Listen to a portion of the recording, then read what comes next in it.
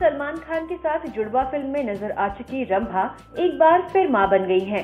रंभा ने 23 सितंबर को टोरंटो में बेटे को जन्म दिया इससे पहले उनकी दो बेटियाँ थीं। दोनों माँ बेटे स्वस्थ हैं